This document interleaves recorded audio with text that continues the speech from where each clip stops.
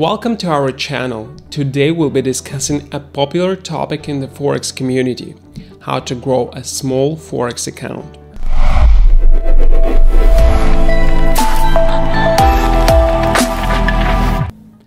Many beginner traders start with a small account and may face challenges in growing it.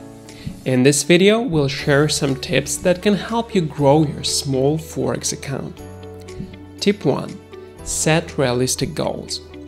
The first step in growing a small Forex account is to set realistic goals. You cannot expect to turn a $100 account into a million dollars overnight. Instead, set achievable goals like obtaining a 3 or 5% gains in a month.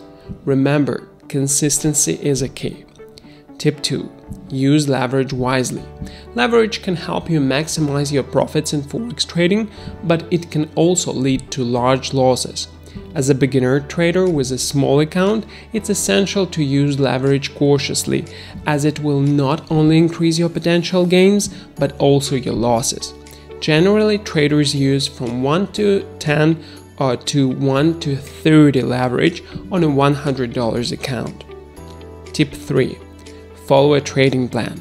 Having a robust trading plan in place can help you grow your small Forex account. It not only helps you make objective trading decisions, but also helps to track your progress. A trading plan should consist of your entry and exit rules, risk management strategy, and trade management strategy. Tip 4 Focus on quality trades.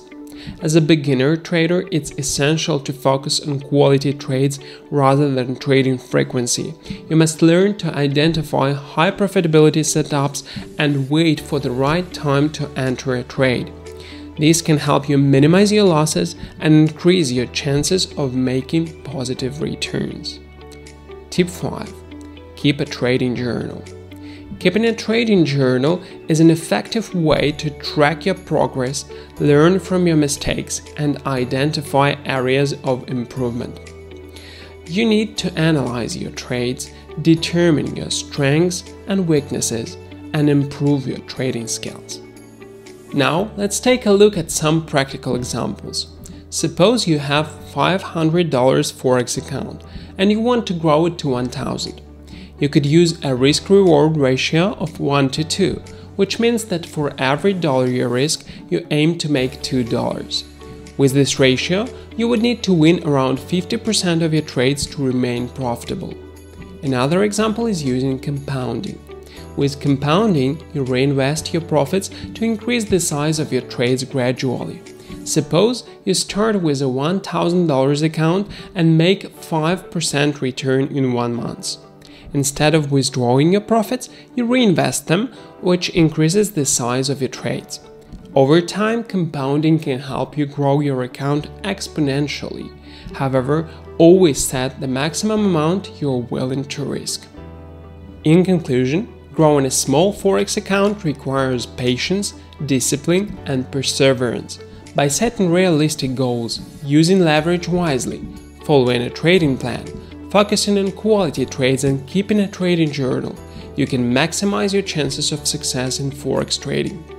Remember, trading requires continuous learning and patience. Stay motivated and keep learning, and you'll be on your way to growing your small forex account. Thanks for watching.